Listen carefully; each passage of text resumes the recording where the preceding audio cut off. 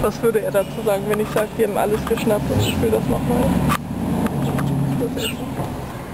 Nicht, dass du Vogelgrippe kriegst. Geht es sowas? Mal. Der Mann. Wie heißt der noch?